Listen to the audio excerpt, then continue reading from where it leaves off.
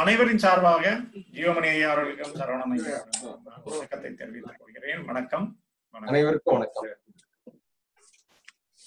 நீங்க வர்றதுக்கு முன்னாடியே ராஜாராமன் கோவப்பட்டு கையை தூக்கிட்டு நிக்கிறாரு. நான் ஓபன் பண்றேன். வாங்க ராஜாராமன். ரெண்டு பேருக்கு ரெண்டு கை தூக்கணும். சார் வணக்கம். எல்லாருக்கும் வணக்கம். சார், இல்ல இல்ல இப்ப கொஞ்சம் இல்ல. ஐயா வந்து கடைசியா ஒரு பாயிண்ட் சொன்னாங்க. சரி அது ரிலேட்டடா ஒண்ணு கேட்கலன்னு தான் சார் அதாவது அவங்க கோபா கோபம் ஒரு உள்ளுக்குள்ள வரக்கூடிய கோபம் வந்து ஒரு புறச்சூழலா ஏதோ ஒண்ணு காட்டுது இல்லையா? அந்த சூழலை காட் காட்டுறத வந்து நம்ம வந்து நம்ம அதைத்தான் அத ரூட் காஸ் அனாலிசிஸ் மாதிரி அதோட ரூட் என்னங்கிறத பார்க்கணும் இல்லையா. அந்த ரூட் என்னன்னு பார்த்துட்டு அத ஐயா சொல்றது மாதிரி அதை நிதானமா சாமர்த்தியமா அத அதுக்கு நம்மளால உள்ள பங்களிப்பு என்ன அப்படிங்கிறத பார்த்துட்டு நம்ம செய்யறது தானே ஐயா சொல்றாங்க இல்லையா அத கடைசியா சொன்ன விஷயம். கடைசியா ஒருத்தர் கேட்டிருந்தாரு. அவர் கிருஷ்ணா சார் தான் கேட்டிருந்தாங்கன்னு நினைக்கிறேன். கோபம் ஒண்ணு வரும்போது அந்த கோபத்து மூலமாவே நம்ம அந்த ஒரு செயலை செய்ய வேண்டியது இல்ல அந்த கோபத்துக்கு பின்னால இருக்கக்கூடிய அந்த மூல காரணம் அந்த ரூட் காஸ் என்னங்கிறத பார்த்துட்டு அந்த ரூட் காஸ் ஏதோ ஒரு அந்த ரூட் காசை சுட்டி காட்டுறதுக்கு தான் நமக்கு அந்த உணர்வு வருது. அந்த உணர்ச்சி வருது. அப்ப அத அத நம்ம செயல்படுத்துறது அந்த கோபத்தின் மூலமா செய்ய வேண்டியது இல்ல. அத நிதானமாவும் அத சாமர்த்தியமா நம்ம அதுக்கு என்ன வழிமுறையோ என்ன நல்ல வழிமுறையோ அத புறத்துல ஆஹ், சிறப்பான வழியில அதை நம்ம செயல்படுத்துறதுக்கு உரிய புறத்துல தான் நமக்கு உள்ள வேலையை பார்க்கணும் அப்படிங்கிறது தான் ஐயா சொல்ல வர்றாங்கன்னு நான் நினைக்கிறேன். கண்டிப்பா. என்னன்னு கேட்டீங்கன்னா நமக்கு ஒரு சூழ்நிலையில நமக்கு ஒரு கோபம் வந்துருது. இருக்கிற ஆளுடைய செயல்பாட்டுல கோவம் வந்துருதுன்னு வச்சுங்களேன் கோவம் வந்தது ஆட்டோமேட்டிக்கா வருது அது பவர்ஃபுல்லா இருக்கு. எப்ப நம்ம வந்து கோவம் வந்து ரெகனைஸ் பண்றோமோ இந்த இந்த அண்டர்ஸ்டாண்டிங் அப்புறம் பாத்தீங்கன்னா ஆட்டோமேட்டிக்கா ஒரு நிதானம் வந்துடும். நம்முடைய நோக்கம் வந்து அவர் பண்ண தப்ப அவர் சுட்டி காட்டணும் தவிர நம்ம வந்து கோவத்தின் மூலமா தான் சுட்டி காட்டணுங்கிற அவசியம் இல்லை. அது எப்படி ஆ, சரி பண்ணணும் தான் அது நம்முடைய நம்முடைய எய்ம் அதுதான். நோக்கம் வந்து அதுதான். அப்படிங்கும்போது அது நம்ம அந்த நிதானம் வந்த உடனே ஹேண்டில் பண்ற இது வந்து மாறிடணும். வந்த கோவம் உண்மைதான் பட் அந்த நிதானம் வந்த உடனே வேற மாதிரி ஹேண்டில் பண்ணி அவருக்கு புரிய வைக்கணும் நம்ம ஆக்சுவலா ஆக்சுவலா பாத்தீங்கன்னா பல நேரத்துல என்ன ஆகுதுன்னு கேட்டீங்கன்னா இந்த கோபம் வந்து அவங்கள ஹர்ட் பண்ணுது. அவங்க ஹர்ட் பண்ணோம்னா என்ன ஆகுறாங்கன்னா அவங்க தப்ப தப்ப தாண்டி என்ன எப்படி ஹர்ட் பண்ணலாங்கிற மாதிரி இதா வராங்க தவிர அவங்க தப்பு மன தப்ப வந்து அவங்க புரிஞ்சுக்க மாட்டாங்க. சோ நம் நம்முடைய அணுகுமுறையை மாத்தும் போது அவங்க தப்ப அவங்க புரிஞ்சுக்கிறதுக்கான வாய்ப்பு இருக்கு. அதை வந்து நம்ம வந்து ஹேண்டில் பண்ற மெத்தேடு அது ஆட்டோமேட்டிக்கா நமக்கு வந்து கை வந்தா கலையா மாறும். டெஃபினட்டா அது அண்டர்ஸ்டாண்டிங்க்கு அப்புறம் அது நிதானத்துக்கு அப்புறம் பாத்தீங்கன்னா நம்ம எப்படி ஹேண்டில் பண்ணா அவங்களுக்கு புரிய வைக்க முடியும்? அப்படிங்கிற மாதிரி நகைச்சுவை உணர்வோடையோ அல்லது அவங்க புரியுற மாதிரியோ நம்ம தப்பு தான் பண்ணிட்டா அவங்களுக்கு புரிய வைக்கலாம் ஈஸியா அந்த ஹேண்டில் பண்ற இது டெக்னிக் நம்ம ஆட்டோமேட்டிக்கா நமக்கு வந்துடும் அதாவது அந்த அந்த சொல்ற அந்த இது இடத்துல அவங்க ரிசீவ் பண்ற ஒரு என்வரான்மெண்ட் இருக்கான்னு நம்ம முத பார்க்கணும் இல்லையா? அதாவது புறத்துல இடம் இடம் பொருள் ஏவல்ங்கிற மாதிரி அந்த இடம் சூழல் அவருக்கு ஏத்த மாதிரி நம்ம அவர் நம்மளுடைய அணுகுமுறை. அப்படிதானே? கண்டிப்பா. அதாவது இந்த சூழ்நிலையில எப்படி சொன்னா அவர் புரிஞ்சுக்குவாரு அப்படிங்கறத நம்ம ஹேண்டில் பண்ணலாம் ஈஸியா பட் அந்த கோபத்தை அப்படியே வெளிப்படுத்தணும்னு வச்சுங்களேன் புரிஞ்சுக்கிறதுக்கு பதிலா நம்ம மேல இன்னும் அவர் வந்து அவருக்கு நம்ம டென்ஸ் ஆகிறதுக்கான வாய்ப்பு வர மாதிரி ஆயிடும். நம்ம அவருடைய நானை வந்து டச் பண்றோம்னு வச்சுங்க அவரை நம்ம நம்ம கோவம் ஹர்ட் பண்ணி அவர் அவமானப்படுத்தின்னு வச்சுங்களேன். அடுத்து அவர் தப்ப புரிஞ்சுக்கிறதுக்கு பதிலா நம்மளை மேற்கொண்டு நம்மள என்ன குறை சொல்லாங்கிற மாதிரி திரும்பி வருவார் சோ அந்த சூழ்நிலை மாறணும் அப்படின்னா நாம வந்து புரிய அந்த நிதானம் வந்து ஆட்டோமேட்டிக்கா நமக்கு அந்த நம்முடைய அணுகுமுறையை மாத்தி கொடுக்கணும். அப்ப இந்த இடத்துல வந்து நம்மளுடைய பொதுவா இயல்பா சராசரியா வர்றது வந்து அன்கான்சியஸ் பார்ட் கூடும் போது நம்ம அந்த இடத்துல கோபத்து மூலமாவே செயலை செஞ்சிடறோம். ஆமா இந்த நாம அப்படியே அடாப்ட் பண்ணி அப்படியே வெளிப்படுத்திடுவோம் நம்ம. ஆஹ் ஓகே ஓகே. நிதானங்கிறது ஆட்டோமேட்டிக்கா வந்துடும் இப்ப நிதானங்கிறது கான்சியஸ்னஸ் பார்ட் அந்த கான்சியஸ் பார்ட்டை வந்து இயல்பாவே அது நமக்கு அந்த பார்ட்டோட பெர்சன்டேஜ் கூடிக்கிட்டே போயிட்டே இருக்கும். நம்ம நம்மளுடைய புரிதல்ல நம்ம ஞான புரிதல்ல அது இயல்பாவே அந்த பார்ட்டு நமக்கு வசப்படும். அது நமக்கு அதுக்கு எந்த முயற்சி பயிற்சி எதுவும் தேவை வேண்டிய தேவையில்லை. எதுவுமே தேவை பயிற்சியால வரக்கூடியது இல்ல. அண்டர்ஸ்டாண்டிங் அப்புறம் பார்த்தீங்கன்னா நமக்கே தெரியும். சரி நம்ம வந்து கோவம் வந்துருதுன்னொடனே வந்து நம்ம ஐடென்டிஃபை பண்ணோம்னா அது கேப் வந்துடும் அந்த கேப் தான் நிதானங்கிறோம் நம்ம. நம்ம எப்படி ஹேண்டில் பண்ணா இந்த இடத்துல நம்ம வந்து நம்ம சரியா டீல் பண்ணலாம்? எப்படி ஹெல்ப் பண்ணா நம்ம வந்து அவர் அவர் அவருக்கு தப்ப புரிஞ்சு புரிய வைக்க முடியும்? அப்படிங்கிற மாதிரி நம்ம வந்துடலாம்.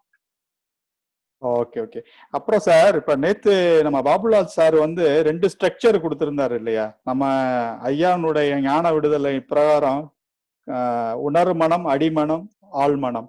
அதாவது consciousness mind subconsciousness mind deeper conscious mind அப்படின்னு நம்ம மாடர்ன் டேர்ம்ஸ்ல அதை நம்ம சொல்றோம். அப்புறம் இன்னொரு பக்கம் வந்து மனம் புத்தி சித்தம் அப்படிங்கிற டேர்ம்ல சொல்றோம். இப்ப இந்த நம்ம மாடர்ன் ரெப்ரசன்டேஷனும் ஒரு பக்கமும் இன்னொரு பக்கம் நம்ம ட்ரெடிஷ்னல் ரெப்ரசன்டேஷனும் சேர்த்து ஒரு ஸ்லைடு தயார் பண்ண முடியுமா சார் எனக்கு எப்படி பண்றதுன்னு தெரியல. அந்த லேயர்ல தாராளமா பண்ணலாம் சார் பண்ணலாம். அதாவது மனம் புத்தி சித்தம் அகங்காரம் அப்படிங்கறத பாத்தீங்கன்னா அந்த நாலா நாலா மைண்டை வந்து பிரிக்கிறோம். அது இல்ல என்னன்னு கேட்டீங்கன்னா மனம்ங்கிறது எல்லா ஆப்ஷனையும் காட்டக்கூடிய விஷயம். மனம்னாவே பலவற்றையும் காட்டினாதான் அது மனசு. அது அது வந்து கான்சியஸ்னஸ் நான் சொல்றது உங்களுக்கு புரியுதா சார் அதாவது consciousness mind subconscious mind deeper conscious மைண்ட்னா ஒரு ஸ்ட்ரக்சர் நம்ம கொடுக்குறோம் இல்லையா? இந்த இன்னும் அதை கம்பேர் பண்றது மாதிரி இந்த கான்சியஸ்னஸ் மைண்ட்ல என்னென்ன பார்ட் மனமும் புத்தியும் வருதா? அதே மாதிரி சப்கான்சியஸ் மைண்ட்ல வந்து சித்தம் வருதா? அதை சொல்றேன். அத அதை ஒப்பீடு ஒப்பீடுக்காக ச- க- பண்ணோம்னா இன்னும் கொஞ்சம் தெளிவா புரியுமேன்னு சொல்லி மிங்கிள் பண்ண முடியுமான்னு கேக்குறீங்க? ஆ ரைட் ரைட் கான்சியஸ் மைண்ட்ல தான் வந்து ரெண்டு பேர் இருக்கு. எதுனா மைண்டும் இருக்கு புத்தியும் இருக்கு. ஓகேங்களா? ஆ ஓகே ஓகே. அதே வந்து நம்ம சப்கான்சியஸ் மைண்ட் தான் நம்முடைய இயல்பு. அதாவது சித்தம். ஆனா அந்த சித்தமும் வெளிப்படுறது வந்து பாத்தீங்கன்னா நம்ம கான்சியஸ் மைண்ட் வழியா தான் வெளிப்பட்டாகும். ஓகே ஓகே நமக்கு தெரியறதெல்லாம் கான்சியஸ் கான்சியஸ் மைண்ட் தான். ஆனா அது சோர்ஸ் வந்து பாத்தீங்கன்னா சப்கான்சியஸ் மைண்ட் சோ சித்தம். ஓகே ஓகே ஓகே இது வந்து டீப்பர் கான்சியஸ் மைண்டுங்கிறது வந்து பாத்தீங்கன்னா ப- பிரபஞ்ச மனம் அது வந்து நம்ம எல்லாத்துக்கும் காமனா இருக்கக்கூடியது. அது வந்து இறை மனம் அப்படின்னு சொல்லலாம். இயற்கை இயற்கையா இருக்கக்கூடிய ஒரு ஒரு- உந்து இது. அது நம்ம உள்ள எல்லாத்துக்கும் பேஸ்ல வந்து ஒன்னாதான் இருக்கு. அப்படின்னு அதை எடுத்துக்கலாம். இதுல வந்து அதை இதை அதை கொண்டு முடியாது. இதுல மனம் புத்தி சித்தம் அகங்காரத்துல டீப்பர் கான்சியஸை நம்ம கொண்டு முடியாது. அது அதுல வரல. இந்த. கான்செப்ட்ல வந்து பாத்தீங்கன்னா மனமும் சித்தத்தையும் மனம் புத்தி சித்தம் இருக்கு இல்லைங்களா? அது. வந்து இந்த ரெண்டுலயும் அடங்கிடுது. கான்சியஸ் மைண்ட்லயும் டீப்பர் சப்கான்சியஸ் மைண்ட்லயும் இது அடங்கிடுது. ஓகே இப்ப நம்ம புரிஞ்சுக்கிட்டது என்னன்னு கேட்டீங்கன்னா இப்ப கான்சியஸ்னஸ் பார்ட்ல வந்து மனமும் புத்தியும் இருக்கு. அங்கே அகங்காரமும் இருக்கு. அகங்காரமும் இந்த மூணு லேயரும் வந்து மூணு பார்ட்டும் வந்து கான்சியஸ்னஸ் பார்ட்ல இருக்கு. சப்கான்சியஸ் பார்ட்ல வந்து சித்தம் அல்லது இயல்பு இயல்பு இருக்கு. ஓகே. அப்ப நம்ம டீப்பர் கான்சியஸ்னஸ் வந்து அது காமன் காஸ்மிக் மைண்ட்னு சொல்லிக்கலாம். வெளியில அது பொதுவா எல்லாருக்கும் நமக்கு உணர்த்தப்படக்கூடிய ஒரு பிளாட்ஃபார்ம் மாதிரி. அது இங்க எல்லாருக்கும் ஒரே மாதிரி தான் இருக்கு. அது எதா இருந்தாலும் வந்து அது அதுக்கு சில பயிற்சி முறைகள் அதுக்கு அது நமக்கு தேவையும் இல்லை. நம்ம வந்து புறத்துல நம்ம என்ன செய்யறோங்கிறத மட்டும் கவனமா இருந்தா போதும். வரக்கூடிய எண்ணங்கள் அதை ஃப்ளோல விட வேண்டியதான் நம்ம. தாட்ஸை வந்து ஒண்ணுமே நம்ம கண்ட்ரோல்ல இல்லைங்கிறத புரிஞ்சுக்கிட்டு திங்கிங் பார்ட்ல நம்ம ஃபோக்கஸ் பண்ணிட்டு போயிட்டு இருக்காங்க. ஓகே சார் ஓகே சார் இது இது அந்த அந்த ஒரு ஸ்லைட் அது ஏன்னா அந்த ஸ்லைட்ல எல்லாம் பாத்தீங்கன்னா அந்த மாடர்ன் ரெப்ரசன்டேஷன் கொடுத்துட்டு நம்ம டக்குன்னு அப்புறம் மனம் புத்தி சித்தம் போகும்போது அது ரெண்டையும் கோய் ஒரு கம்பாரிசன் போட்டிருந்தாங்கன்னா இன்னும் கொஞ்சம் நல்லா இருந்திருக்கும் அது. என்னுடைய சஜஷன் சார் நான் குறைய சொல்லல. Okay sir okay thank you thank you thank you thank you so much Madhavan நீங்க அன்மியூட் பண்ணிட்டு பேசலாம். வணக்கம். உங்கள் ரெண்டு பேருக்கும். ஐயா வணக்கம். வணக்கம். வணக்கம் வணக்கம் வணக்கம் வணக்கம். வணக்கம். இந்த கோபம் இன்னைக்கு டாபிக் ஐயா இது பண்ணது. நான் கோபப்பட்டு முடிச்சிட்டு தான் அதை பத்தியே பேசுறேன் எப்பவுமே. இதுக்கு முன்னாடி. ஒரு ஒரு ஒன் மந்த்துக்கு முன்னாடி கோபப்பட்டு முதல்ல திட்டிட்டு தான் அதுக்கப்புறம் சாரி கேட்குற மாதிரி ஆயிடுது. குழந்தையா இருந்தாலும் பெரியவங்களா இருந்தாலும் யாரா இருந்தாலும். கொஞ்சம் ஏதாவது நம்ம எக்ஸ்பெக்ட் பண்றோம். ஒன்றும் இல்லை மற்றவங்க எல்லாம் நமக்கு கட்டுப்பாட்டுல இருக்கணும். எல்லாமே நம்ம நினைச்சதெல்லாம் நடக்கணும் எதிர்பார்ப்பு அதிகமா. அது ஏதாவது ஒரு வகையில எங்கேயாவது ஒரு இதுவாகும் போது அந்த கோவம் அந்த இடத்துல செல்லுபடி ஆகும்னு நமக்கு நல்லா தெரிஞ்சிருச்சுன்னா நம்ம ஆட்டம் ஜாஸ்தி ஆயிடும். அதுவே ஒரு பாஸுக்கிட்டயோ இல்லை வேற யாருக்கிட்டயோ நம்ம பண்ணும்போது ரொம்ப அமைதியா மனசுக்குள்ள திட்டிட்டு இருந்தாலும் வெளியில நல்ல மாதிரி முடிஞ்சு வச்சுக்கிட்டு தொலைய மாட்டானா வந்து வந்துருவோம். கோபத்தினோட அது இது. ஐயா கிட்ட பேசும்போது கூட சொன்னேன் இது இயல்பான கோபம். கோபம்ன்றது ஒரு இயல்பான உணர்ச்சி. அது வராத மாதிரி எல்லாரும் காமிச்சிக்கலாமே ஒழிய எல்லாருக்கும் அந்த கோபம்ன்றது இருக்கும். பட் அதை ஹேண்டில் பண்றது எப்படி? அப்படின்றது வந்து அதுதான் முக்கியமான விஷயமா இருக்கு. அதுல வந்து இப்போ குறிப்பிட்டு சொல்லும்படியா அந்த நிதானம் வந்து நான் உணர்றேன் யார்? இப்ப இன்னைக்கே கூட நிறைய விஷயங்கள் நான் ஐயா கிட்ட உங்கள்கிட்ட பேசிட்டு இருந்த மதியம். ஒரு இந்த இது போஸ்ட் பண்ணானப்போ எனக்கு முன்னாடி எல்லாம் ஒரு மாதிரி ஒரு பிளக் பட்டுன்னு என்னடா அது எடுத்த உடனே அப்படி ஆகுது அப்படி. இப்ப அப்படி இல்ல அது இருக்கட்டும் இப்ப என்ன போ வரும்போது வரட்டுமே அப்படின்ற ஒரு இது வந்துருது. எந்த விஷயமா இருந்தாலும் அதன் போக்குல அதை விட்டு அதுவே ஒரு இதுல செட் ஆகும் போது அதை எடுத்துக்கிறது தான் நல்லது அப்படின்ற ஒரு ஐடியா ஒண்ணு. ரெண்டாவது கோவப்படும் போது நாம யூஸ் பண்ற வார்த்தைகள் நம்ம எல்லாமே மனுஷங்க தான். நம்ம எல்லாமே மனுஷன் தான். நமக்குள்ள எல்லா உணர்வும் இருக்கும். ஆனா ஆப்பனண்ட் ரொம்ப கீழே நமக்கு தாழ்ந்தவனாவோ அல்லது நம்மளோட சப்பார்டினேட் அல்லது ஜூனியரா யாரா இருக்காங்கன்னா ஒரு வார்த்தையே பாத்தீங்கன்னா ரொம்ப காரமான ஒரு ஹார்ஷான வார்த்தைகளா இருக்கு நிச்சயமா அந்த வார்த்தை பேசினா அவன் மனசு புண்படும் அவன் அழுவான் கஷ்டப்படுவான் அப்படின்றது தெரிஞ்சே நாம வந்து அதை பிரயோகம் பண்ணியிருக்கேன் நிறைய இடத்துல நான் அம்மா இந்த வார்த்தை சொன்னா அவங்களுக்கு கோவம் வரும் அப்படின்னு நமக்கு தெரியும். அது வேணும்னே அந்த வார்த்தையை ஞாபகம் வச்சு பேசுவோம். அன்னைக்கு மட்டும் நீ சொன்னியே. அந்த மாதிரி ஒரு கோபம் வரும்போது அந்த மெமரி வந்து பியூட்டிஃபுல்லா இது வரைக்கும் என்னென்ன கேவலமான விஷயங்கள் அந்த நபரை பத்தி வருதோ அது எல்லாத்தையும் சம்மரைஸ் பண்ணி கொடுது. இப்ப பேசு. இதுதான் வாய்ப்பு. அப்புறமா ஒரு சாரி கேட்டுக்கலாம். ஏதோ கோவத்துல பேசிட்டேன். ஏதோ மனசுல வச்சுக்காத. அன்னைக்கு இந்த மாதிரி செஞ்சியே. அன்னைக்கு அவங்களுக்கு மட்டும் கொடுத்தியே. இன்னைக்கு இந்த மாதிரி பண்ணியே. என்ன மட்டும் கவனிச்சியா? பாத்தியா? போனியா? இந்த கோவம்ன்றது ஒரு சாக்கு தான் அது ஒரு இம்மெச்சூரிட்டியான விஷயம் தான் ஆனா பெரும்பாலான டைம் வந்து முடிஞ்ச அப்புறம் தான் நமக்கு அது ஐயா அந்த மின்னல் சொன்னாங்கல்ல. அது வந்ததுக்கு அப்புறம் தான் நம்ம வந்து அந்த மாதிரி பேசிட்டோமே. ஐயோ இந்த வார்த்தையை போய் குழந்தைய சொல்லி திட்டிட்டோமே. இந்த வார்த்தையை வச்சு மனசு மனைவியை திட்டிட்டோமே அப்படின்றது. அதுக்கப்புறம் ஆயிரத்தெட்டு மன்னிப்பு நம்ம கேட்டாலும் அந்த முதல் தடவை நம்ம அந்த மாதிரி ஒரு வார்த்தை சொல்லிட்டோம்னா அது வாழ்க்கை ஃபுல்லா ஒரு பிளாக் மார்க் ஆயிடுது. பட் இப்போ வந்து அந்த நிதானம் ஓரளவுக்கு நமக்கு கொஞ்சம் யோசிக்கலாம். கொஞ்சம் கொஞ்ச நேரம் தள்ளி போடுற மாதிரி ஒரு ஐடியா வந்துருச்சுங்க. இன்னொன்னு வந்து ஒன்றும் பெருசா அதுல எனக்கு தோணலன்ற மாதிரி இருக்கு. அது அது இயல்பா ஆயிடுதா என்னன்னு தெரியல. முன்னாடி ரொம்ப மைக்ரோஸ்கோபிக்கா இருப்பேன். ஏன் ஏன் ஏன் ஏன் ஏன் அந்த வேலை முடியணும் அந்த பார்க்கணும் அதுன்னு கொஞ்சம் கேஷுவலா ஆயிடுச்சு மைண்டு கொஞ்சம் ரிலாக்ஸ்டா இருக்கிற மாதிரி இருக்கு. ஐயா சொன்ன மாதிரி இந்த ரிலாக்ஸேஷனுக்கும் புரிதலுக்கும் சம்மந்தம் இல்லைதான்.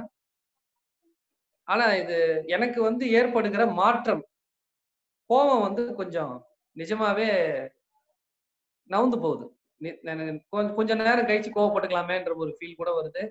அல்லது வந்து எதிராளிக்கு வந்து ஒரு வாய்ப்பு கொடுப்போமே அவங்க என்னதான் சொல்றாங்கன்னு கேட்பேன். சடனா ஒரு கோவப்பட வேணாம். ரெண்டாவது வந்து நான் வார்த்தை இமிடியட்டா சொல்லிடுறேன் நீ போடான்னா நீ போடான்றோம். அதுக்கப்புறம் பேசிக்கலாம் மிச்சம் எல்லாத்தையும். நீ போ நீ போ. சட்டுன்னு ஒரு அந்த ரியாக்ஷன் இருக்கு. அது கோவமா அது முட்டாள்தனமான்னு தெரியல. கிட்டத்தட்ட ரெண்டுமே ஒரே மாதிரிதான் இருக்கு. தார்மீகமா ஒரு சுதந்திர போராட்ட வீரர்கள் மாதிரி ஒரு கோவப்பட்டு நாட்டுக்கு சுதந்திரம் வாங்கி கொடுக்கறது ஒரு கோவப்பட்டு அநீதியை எதிர்த்து நல்லது கொண்டு வர்றது அந்த மாதிரி இருந்தா அது வேற மாதிரி கோபம் எந்த இடத்துல தேவையோ அதுல பயன்படுத்திக்கிட்டு எந்த இடத்துல தேவை இல்லையோ அதை விடுறது வந்து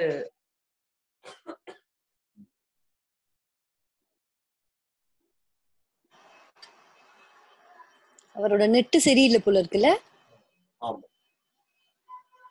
ஓகே. ஐயா. ஆ. பேசுங்க. ஐயா. வணக்கம் சொல்றேன். சின்னவங்க. அதுதான் வேற ஒண்ணுமே இல்லையா? வாழ்க்கை எல்லாத்துக்கும் எல்லா அன்பையும் கொடுக்குது நல்லதுலாம் இருக்குது நாம கோவத்தை புடிச்சு வச்சுக்கிட்டு நாம கோவத்தை புடிச்சு வச்சுக்கிட்டு அதை ரொம்ப பண்றோம். அது இயல்பா அந்த நிதானம் ஐயா சொன்ன மாதிரி இந்த நிதானம் வந்து கண்டிப்பா ஐயாவுடைய பாதையில வந்ததுக்கு அப்புறம் நிச்சயமா அந்த நிதானம் நிச்சயமா இருக்குயா அதுல எந்த மாற்றமும் இல்ல.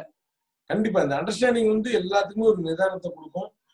அவங்க வந்து கோபங்கிறதே எல்லாத்துக்குமே குறைஞ்சதா தான் இருக்கும். குறைஞ்சிருக்கும். முதல்ல இருந்த டூரேஷனுக்கும் இந்த அண்டர்ஸ்டாண்டிங்க்கு அப்புறம் இருக்கிற டூரேஷனும் கண்டிப்பா கம்மியா தான் இருக்கும். அது ப்ராக்டிக்கலாவே எல்லாருமே நம்ம பார்த்து நல்லதுங்கய்யா அது என்ன அந்த பொறுத்த வரைக்கும் எனக்கு வந்து உங்க அனைவருக்கும் என்னுடைய மனமார்ந்த நன்றிகள். ஓகேங்க நன்றி. Thank you thank you Madhavan Thank you. Siddheswaran நீங்க அன்மியூட் பண்ணிட்டு பேசலாம். அம்மாவுக்கு வணக்கம். ஐயா வணக்கங்க ஐயா. ரெண்டு பேருக்கும் வணக்கங்க ஐயா. வணக்கம் வணக்கம் வணக்கம் வணக்கம். வணக்கங்க ஐயா வணக்கம்.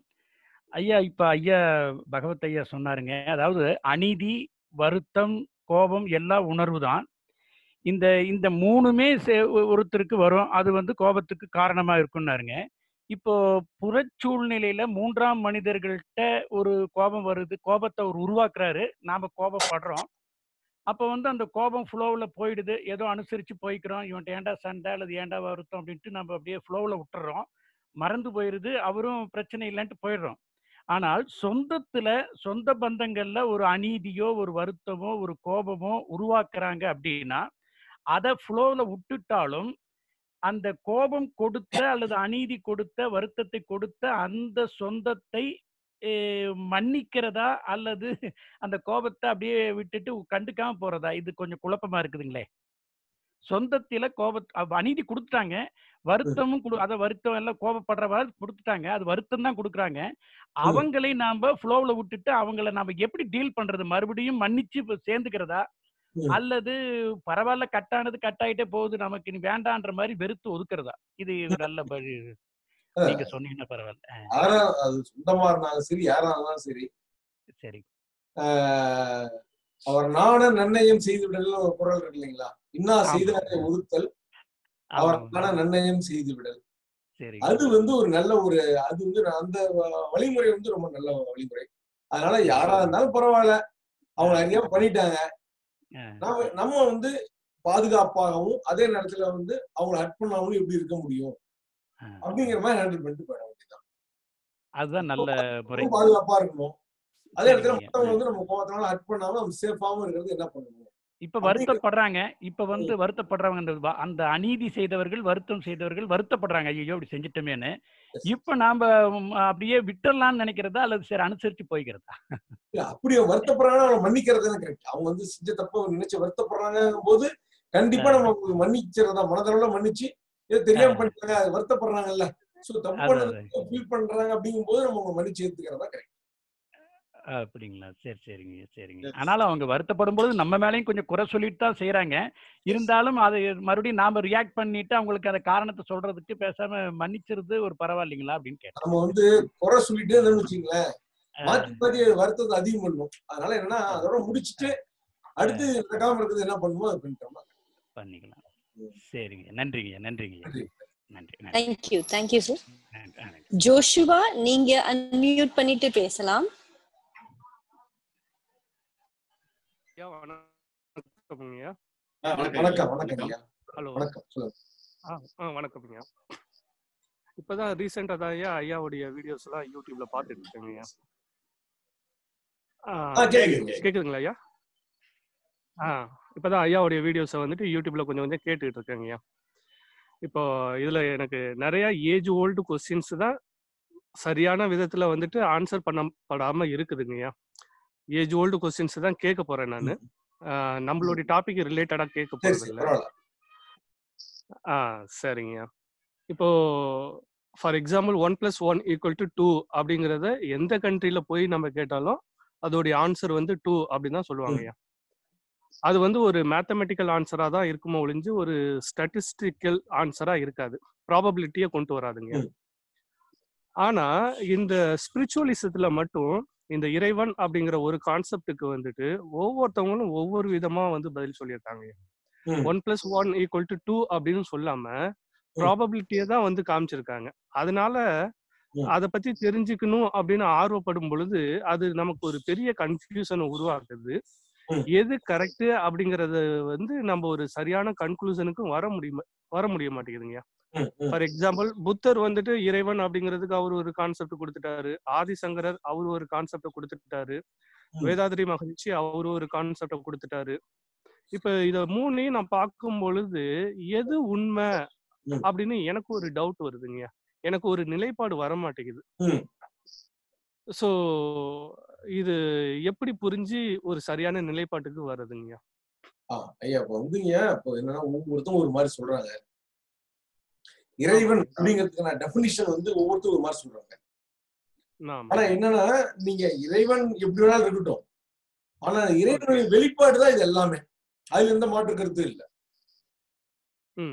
நீங்க நானு நம்ம உணர்வுகள் இந்த உலகம் எல்லாமே இறைவனுடைய இறைவனுடைய வெளிப்பாடு தான். அதுக்கு தன்மாற்றமா வந்திருக்கக்கூடிய ஒரு நிகழ்வு தான் எல்லாமே. ம். இதுதான் நம்ம கண்ணுல தெரியுது. நம்ம உணர முடியுது. நம்ம எதையோ உணர்றோம்ல. உணர்வுன்னு ஒன்று இருக்குல்ல. ஆமாங்கய்யா. இதுதான் நம்ம உணர முடியுது. நம்ம வந்து இந்த மூலத்தை நம்மளால உணர முடியல. ஓகேங்க. மூலத்தை வந்து ஒவ்வொருத்தரும் ஒரு மாதிரி அனுமானத்துல சொன்னா கூட. அது உணர முடியாத ஒரு நிலையில தான் இருக்கு. ஏன் உணர முடியல அப்படின்னா அதற்கு ஒரு ஒப்பு உவமையே கிடையாது. ஒப்பு அற்றது. இறைவன் இயற்கை அப்படிங்கிறது ஒப்பு அற்றது. தனக்கு உவமை இல்லாதான் தாழ் சேர்தா கல்லால் மனக்கவலை மாற்றல் அரிதுன்னு வள்ளுவர் சொல்றாரு. தனக்கு உவமை இல்லாதான் தாழ் சேர்ந்தா கல்லால் மனக்கவலை மாற்றல் அரிது. ஒப்பு ஓமையற்ற அந்த இயற்கையோட இயற்கையினுடைய பாதத்தை பணியாத பணியறத தவிர வேற எந்த வழியுமே இல்லை. நம்ம வந்து மனக்கவலையில இருந்து விடுபடுறதுக்கு. அப்படிங்கும்போது இயற்கை என்னவோ அந்த இயற்கையை புரிஞ்சுக்கிறது தான் சரியான ஒரு வழி. மனக்கவலையிலிருந்து விடுபடுறதுக்கான சரியான வழி வந்து இயற்கையை புரிஞ்சுக்கிறது தான். அப்ப மனதினுடைய இயற்கை எப்படி இருக்கு? மனம் எப்படி இயங்குது? அப்படிங்கிற இந்த அண்டர்ஸ்டாண்டிங்கை தான் நம்ம ஞானம்னு சொல்றோம். இந்த ஞானத்துக்கு வந்துட்டீங்கன்னா இது தவிர வேற எந்த வழியுமே இல்லை மனக்கவலையை மாற்றுவதற்கு. நமக்கு வாழ்க்கைக்கு வந்து மனக்கவலை இல்லாம நாம வந்து எல்லா பிரச்சனையும் ஈஸியா எதிர்கொள்ளக்கூடிய தன்மைக்கு வர்றதுதான் ரொம்ப முக்கியமான விஷயமே தவிர நம்ம மூலத்தை அறியணும் அப்படிங்கிறது முக்கியமே கிடையாது. ஏன்னு கேட்டீங்கன்னா மூலத்தோட வெளிப்பு மூலத்தை அறியறீங்கன்னா நீங்க அதுக்கு மேல ஒரு படி மேல இருக்கணும். அப்பதான் நீங்க மூலத்தை அறியவே முடியும். அதை விட ஒரு படி மேல இருக்கிறீங்கன்னா அர்த்தம். அப்ப நீங்க தான் இறைவன். அது இறைவன் இல்ல. சோ. நம்ம அதை விட ஒரு படி கீழே இருக்கிறதுனால அதோட வெளிப்பாடா நம்ம இருந்துட்டு இருக்கோம். வெளிப்பாடு இறை மூலத்தை தேடாம இருக்கும் போது வெளிப்பாடும் மூலத்தின் ஒரு அங்கமே. வெளிப்பாடு மூலத்தை ஓகே. தேடாம இருக்கும்போது வெளிப்பாடும் மூலத்தின் ஒரு அங்கமே. இதை புரிஞ்சுக்கிட்டீங்கன்னா நீ எப்ப நீ அதை தேடலையோ மூலம் எப்படி இருக்குன்னு நீங்க தெரியலையோ அப்ப நீங்க மூலத்தின் ஒரு பகுதி தான் நீங்க. நீங்களும் இறைவனுடைய ஒரு பகுதி தான் ஓகே ஓகே ஓகே ஓகே. இதை புரிஞ்சுக்கிட்டா போதும் அப்ப இறைவனை தேடுதல் அப்படிங்கிற ஒரு கான்செப்ட்லாம் தேவையில்ல. நம்மளுடைய மனதை நீங்க அதை நழுவவே விடுறீங்க நீங்க வேற அது இல்ல. நீங்க வேற அது வேற கிடையாது. எப்ப தேடுறீங்களோ அப்பதான் அதுல இருந்து நிலவுறீங்க நம்ம அதுல தான் இருக்கிறோம். ஓகே. அதை தாண்டி நம்ம இல்ல நம்ம. அதனால நீங்க வந்து அனுமானத்தை வச்சு தேட வேணாங்கிறாங்க. அதாவது மீன் வந்து கடல் இப்படி இருக்குமா? அதுல வந்து பாசிகள் இப்படி இருக்குமா? அது இத்தனை உயிரினங்கள் இருக்காமா? அப்படின்னு மீன் தேடிட்டு இருக்கிற மாதிரி இருக்கு. அதையே அது தேடிட்டு இருக்கு. அது இருக்கிறதே கடல்ல தான். தேடாம இருந்தா அது வேற கடல் வேற கிடையாது. கடலின் ஒரு அங்கம் தான் மீன். அது மாதிரி நம்ம வந்து நம்முடைய மூலத்தை தேடணுங்கிற அவசியமே இல்லைங்க. ஓகே ஓகே ஓகே ஓகே ரைட்டுங்க. அடுத்து அடுத்து ரொம்ப சொல்றேன். நீங்க வந்து இந்த ஆ. இறைவன் இதை தேடுறதெல்லாம் அது ஒரு பகுதி இருந்தா கூட ஓகேங்க. நமக்கு லாஜிக்கலா ஒரு அறிவு இருக்குது இல்ல. ம் இருக்கு. அது வந்து நமக்கு தெரியறது வந்து பாத்தீங்கன்னா உடம்பு மனசு. ரெண்டை தவிர வேற ஏதாவது தெரியுமா? மித்ததெல்லாம் எதை பண்ணாலும். ஓகேவா? ஆமாங்க. அதனால என்ன சொல்றேன்னா நீங்க நல்லா தெரிஞ்சதுல இருந்தே எல்லாத்தையுமே தெரிஞ்சுக்கலாம்னு சொல்றேன். இதுல நீங்க ஃபுல்ஃபில்லா உடல்லையுமே ஒரு பகுதி அன்கான்சியஸ் பார்ட் ஒரு பகுதி நாம செய்யற பகுதி தானா இயங்குற பகுதி இந்த மாதிரிலாம் இருக்குது இல்ல இதெல்லாம் நீங்க என்ன இதெல்லாம் கேட்டீங்க அந்த வீடியோ இதெல்லாம் பாத்துட்டீங்களா ஐயா? கேட்டுட்டு இருக்கேங்கய்யா கே- நீங்க கேட்டீங்க அதுல வந்து ரெண்டு மூணுல ஃப்ரண்ட்ல பாத்தீங்கன்னா உங்களுக்கே தெரியும். அதாவது ஒரு இயக்கம் தானா நடக்கிற இயக்கம் ஒரு இயக்கம் நம்மளுடைய அறிவு கொண்டு செய்யற இயக்கம்னு இருக்கு. ம் சரிங்கய்யா இதுலயும் அப்படித்தான் மனசுலயும் இதுல வந்து அந்த தானா நடக்கிற இயக்கம்லாம் இயற்கையின் இயக்கம்னு எடுத்துக்கிட்டா ரொம்ப சிம்பிளா வேலை முடிஞ்சிடும். நீங்க ரொம்பவே அதுக்கு காம்ப்ளிகேட் பண்ணிக்க தேவை அதாவது நம்ம லிமிட்ல என்ன இருக்கு நம்ம லிமிட்டுக்கு இல்லாதது பூரா நேச்சுரல் ஓகே ஓகே ஓகே. அன்கான்சியஸ்னா நேச்சுரல் கான்சியஸ்னா நம்ம லிமிட்டுக்குள்ள வந்துருது. இப்படி கூட எடுத்துக்கலாம் சிம்பிளா சரிங்க. இன்னொரு விஷயம் சொல்றாங்களே அதுல இந்த ஆம்னி பிரசன்ட் ஆம்னி பொட்டன்ட் அப்படிங்கிற ஒரு வார்த்தையை பயன்படுத்துறாங்கய்யா சர்வ சர்வ ஞானி சர்வ வல்லமை அப்படிங்கிற ஒரு வார்த்தையை பயன்படுத்திக்கிறாங்கய்யா இப்போ ஒரு சிலவங்க எல்லாம் அதே மனதை பயன்படுத்தி அவங்க கடந்த காலத்தையும் நிகழ்காலத்தையும் எதிர்காலத்தையும் அவங்களால கணிக்க முடியுது எக்ஸாக்டா ப்ரிடிக்ட் பண்ண முடியுது அந்த அறிவு அவங்களுக்கு கிடைக்குது அப்படின்னு ப்ரொக்ளைம் பண்ணிக்கிறாங்க. ஸோ அதை கேட்கும் பொழுது அதுல வந்து ஒரு சின்ன நாட்டம் ஒன்று வருது. நாமளும் அப்படி இருந்தா நல்லா இருக்குமே. ஸோ நமக்கு எல்லா விஷயமுமே தெரிஞ்ச மாதிரி இருக்குமே. ஒரு ஹோலிஸ்டிக்கா இருக்கலாமே அப்படின்னு மனசுல ஒரு எண்ணம் தோன்றுதுங்கய்யா அது தேவையா தேவையில்லையா அப்படிங்கிறது எனக்கு தெரியலங்க. அதாவதுங்க நீங்க சொல்றது நிலையும் ஒரு நிலை வந்து இருக்கலாம். அது நாளை என்ன நடக்குதுங்கிறது நீங்க எனக்கு தெரியணும். இது ஞானம் கிடையாது.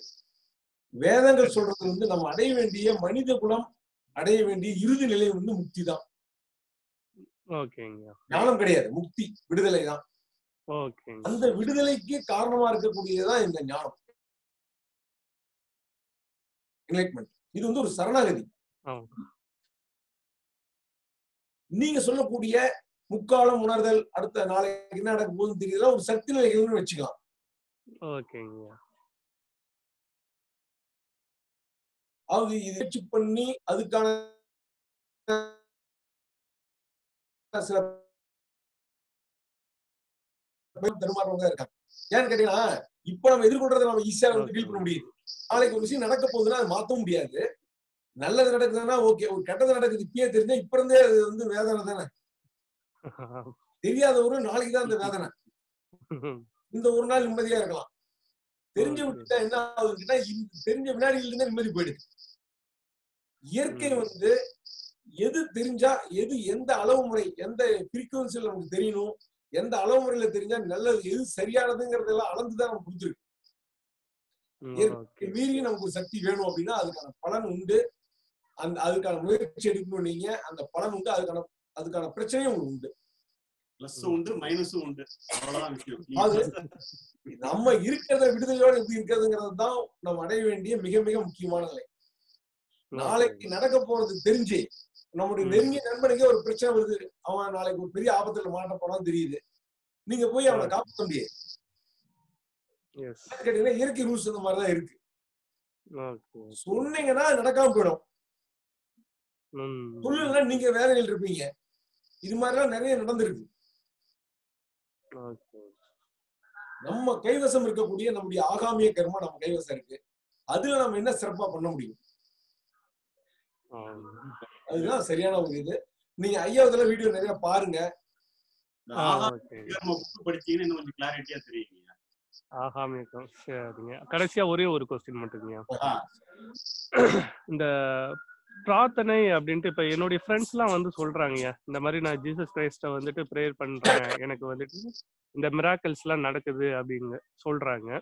பொதுவாகவே இந்த மிராக்கல்ஸ் அப்படிங்கிறதுக்கும் ப்ரேயர் அப்படிங்கிறதுக்கும் ஒரு இன்டர் கனெக்டடா இருக்கிற மாதிரி இருக்குங்கய்யா. பட் நான் ப்ரே அவங்க சொல்றதுனால அந்த எண்ணம் ஏற்பட்டு நானும் ப்ரேயர் பண்ணி பாக்குறேன் but I don't get any miracles இந்த மிராக்கல்ஸ் அப்படிங்கிறது எப்படி நடக்குதுங்கய்யா? அதுக்காக நம்ம ப்ரேயர் பண்ணுமா? இந்த பிரார்த்தனை அப்படிங்கிறது நம்ம ஃபாலோ பண்ணலாமா? இல்ல தேவையில்லைங்களா? ஐயா நம்மளுடைய முயற்சியை மட்டும் எடுத்துட்டு போலாங்களா? அதாவதுங்க புறம் சார்ந்த உங்க தேவைக்கு தாராளமா பிரார்த்தனை தேவைன்னா பண்ணலாம்.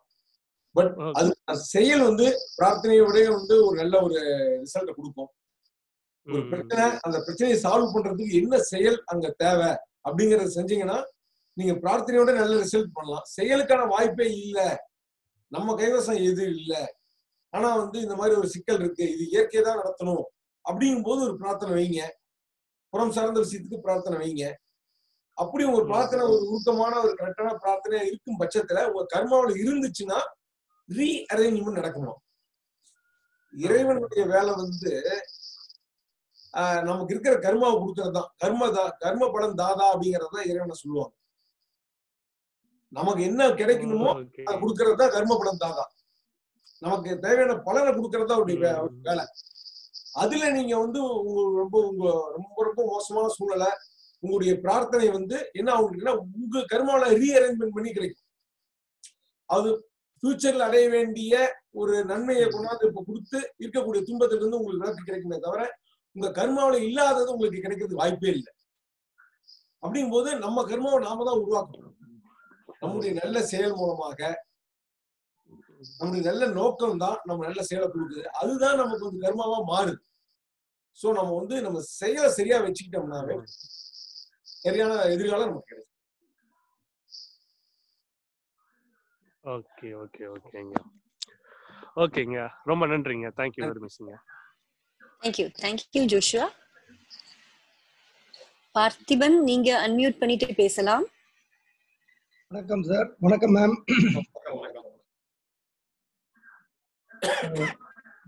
கொஞ்சம் லேட்டா வந்தேன் சார் முதல்ல ஐயாவினுடைய அட்டன் பண்ண முடியல. இப்போ உங்களுதுல மிடில்ல தான் வந்தேன். இன்னைக்கு கொஞ்சம் வேலை இருந்தது. இன்னைக்கு இந்த இந்த ஓம்ன்ற அந்த சப்ஜெக்டை வச்சு ஒரு கேள்வி ஒன்று கேட்கிறேன். தினசரி வாழ்க்கையில சந்திக்க வேண்டிய ஒரு நபர் நம்ம இந்த புரிதல் இருக்கிறதுனால இந்த புரிதல் நமக்கு வந்து கோபத்தை கொடுக்காம நமக்கு வந்து நிதானத்தை கொடுக்குது. நம்ம வந்து அனுசரிச்சு போறோம். அந்த புரிதல் எல்லாமே இருக்கு. எதிர்தரப்பு நபர் தொடர்ந்து பலவிதமான பிரச்சனைகளை கொடுத்துட்டே இருக்கார். அந்த கோபத்துக்குண்டான சூழ்நிலையை அவர் வந்து உருவாக்கி கொண்டே இருக்கிறார். இது தொடர்ந்து நடந்துட்டு இருக்கு. வேற வழியே இல்லை. அந்த அந்த இடத்த விட்டு இடம்பெயர்றதுக்கு உண்டான வாய்ப்பு இல்லை. தொடர்ந்து கண்டிப்பா இருந்தே ஆகணும்ன்ற ஒரு சூழ்நிலை இருக்கு. இதை எப்படி எதிர்கொள்றது? என்னன்னா பொதுவா வந்து நம்ம கோபத்தை வந்து அப்படியே காட்ட வேணாம். அதை வந்து எந்த மாதிரி அணுகுமுறை பண்ணா அவங்க தப்பு அவங்க புரிஞ்சுக்குவாங்க அப்படிங்கிறதுக்கு தான் நம்முடைய அணுகுமுறையை மாத்துறோம். சப்போஸ் நீங்க அணுகுமுறையை மாத்தி அவர் புரிஞ்சுக்காம அவருக்கு ஆனா அவருக்கு வந்து அங்க கண்டிப்பு தேவைப்படுது. ஒரு கடுமையான வார்த்தைகள் தேவைப்படுது அப்படின்னா நம்ம பயன்படுத்துறது தப்பு கிடையாது. நமக்கு வந்து ரிசல்ட் முக்கியம். அப்படிங்கும் போது இப்போ நம்ம வந்து நம்ம ஒரு ஆபீஸ்ல ஒர்க் பண்றோம் இல்ல நம்ம தான் எம்டி வேலை செய்யறவங்க அவங்க தொடர்ந்து தப்பு பண்ணிட்டே இருக்கிறாங்க போது சில கண்டிப்பான வார்த்தைகள் வந்து தேவைப்படலாம். அந்த சூழ்நிலைக்கு எது தேவை எப்படிங்கறது நம்ம நிர்வாகம் பண்ணும்போது நமக்கு தான் அது தெரியும். தேவைக்கு தகுந்த மாதிரி ஏன்னா நம்ம வந்து எப்பவுமே நம்ம வந்த கோலத்தை அடாப்ட் பண்ணல. நமக்கு அவங்க ஒரு கேப் இருக்கு நிதானம் இருக்கு. அந்த நிதானத்துல வந்து நம்ம யூகிக்க முடியும். நீங்க எப்படி ஹேண்டில் பண்ணா இந்த சூழ்நிலையை எதிர்கொள்ள முடியும் அப்படிங்கிறது. அந்த அந்த எதிர்கொள்ளக்கூடிய அந்த எதிர்கொள்ளக்கூடிய திறமை நமக்கு வந்து நிதானம் வந்து ஈஸியா நமக்கு கிடைக்கும். அப்போ வந்து என்னன்னா இந்த இடத்துல கண்டிப்பா பேசணுமா? இல்ல நம்ம வந்து சாஃப்டா பேசினா அவன் அதே தப்பு மறுபடியும் பண்ணுவானா? அப்படிங்கறத யூசி யூகித்து நம்ம செயல்படுத்துறோம்னா கண்டிப்பா நம்ம விளைவு வந்து சரியா எல்லா இடத்துக்குமே நிதானம் தான் எல்லா இடத்துலயுமே வந்து சாஃப்டா ஹேண்டில் பண்ணுங்கிற அவசியம் கிடையாது. சில சூழ்நிலை தேவைப்படலாம். இப்போ போலீஸ்காரர் இருக்கிறாருன்னா ஒருத்த ரவுடிங் ரெண்டு பேர் இருக்காங்க அந்த சமயத்துல வந்து கண்டிப்பான வார்த்தையும் ஒரு மிரட்டலும் தேவைப்படுவாங்க அங்கேயும் ஒரு அவன் தப்ப நான் புரிய வைக்கிறேன். அப்படின்னா அந்த மாதிரி கேட்டகரியிலேயே அவன் இல்லையே. அது புரிஞ்சுக்கூடிய கேட்டகரியிலேயே இல்லையே. அதனால எங்க எப்படி தேவை அப்படிங்கறத நம்ம சூழ்நிலையை புரிஞ்சு செயல்படுத்தலாம் இல்லையா? எல்லாமே தேவையானது அந்த அந்த அந்த சூழ்நிலையே நமக்கு வந்து இந்த புரிதல் இருக்கிறதுனாலயும் நிதானம் இருக்கிறதுனாலையும் நம்ம இந்த ஒரு ஆண் இந்த மாதிரி ஒரு ஆன்மீக பாதையில இருக்கோம். நம்ம வந்து மிகவும் அமைதியா தான் இருக்கணும் அப்படின்ற ஒரு சூழ்நிலை எல்லாமே எடுத்துட்டு அந்த சூழ்நிலையை கையாளறதுக்கு உண்டான அறிவை பயன்படுத்தி அவங்க எப்படி நம்ம சமாளிக்கணும் அந்த சூழ்நிலையை எப்படி சமாளிக்கணும்ன்றத நம்ம வந்து அன்கான்சியஸா பண்றதுக்கு பதில் வந்து கான்சியஸா தெளிவா நிதானமா அத நம்ம ஒரு திட்டத்தோட அவங்களை எதிர்கொள்ளும் போது நம்ம அந்த சூழ்நிலையை வெற்றிகரமா கையாளலாம் அப்படின்றத இப்ப நீங்க சொல்ற கருத்து? ஆமா டிரைவ் பண்றோம் எங்க சைடு வாங்கணும் எங்க பின்னாடி போகணும் எங்க ஸ்லோவா போகணும் எல்லாமே யார் டிரைவ் பண்றாங்க அவங்களுக்கு தான் தெரியும். நாம இதுக்கு ஐடியா வந்து நான் கொடுத்தனாலும் சரி வராது. ஏன்னா அவங்க யார் எதிர்கொள்றாங்களோ எந்த பிரச்சனையை யார் எதிர்கொள்றாங்களோ ஏன்னா நீங்க நிதானங்கிறது தான் ரொம்ப முக்கியமான விஷயம். நிதானம் நமக்கு வந்துருது. இந்த அண்டர்ஸ்டாண்டிங்னால ஐயா கொடுத்த புரிதல்னால ஞானத்தினால நிதானங்கள் ஆட்டோமேட்டிக்கா வந்துடும் நிதானம் வந்தோம்னா என்னன்னா எது தேவையோ அதை அப்ளை பண்ணணும். அதுக்கான வாய்ப்பு நமக்கு இருக்குன்னு வச்சுக்கோங்களேன். ரொம்ப நன்றி. ஓகே ஸோ நன்றி Parthiban. Next Maheswaran from Bangalore unmute பண்றேன். சார் வணக்கம் மகேஸ்வரன். குட் ஈவினிங் சார் வணக்கம் ஐயா. ஆஹ் ஐயா எனக்கு ஒரு டவுட் இப்போ வந்து இப்போ கோபம்ன்ற உணர்வு வந்து ஒரு ஆஹ் என்னோட புரிதல் படி இப்போ பார்த்தது வரைக்கும் புத்தியை முழுமையா யூஸ் பண்ணணுன்ற மாதிரி இருக்குல்ல அது கரெக்ட்டுங்களா ஐயா? கோபத்துக்கும் வந்து முழுமையா புத்தியை மட்டும்தான் யூஸ் பண்ணோம். கண்டிப்பா கண்டி நீங்க உங்க அறியாமையே புத்தி யூஸ் பண்ணுவீங்க. ஆனா என்ன இதுல வந்து கேப்புங்கிறது ஆட்டோமேட்டிக்கா வந்துடும் நிதானங்கிறது ஆட்டோமேட்டிக்கா வந்துடும் வச்சுங்களேன் ஓகேங்க ஓகேங்க. இந்த அண்டர்ஸ்டாண்டிங்க்கு இந்த அண்டர்ஸ்டாண்டிங்க்கு முன்னாடி கூட நீங்க புத்தி யூஸ் பண்ணுவீங்க. தெரியும்.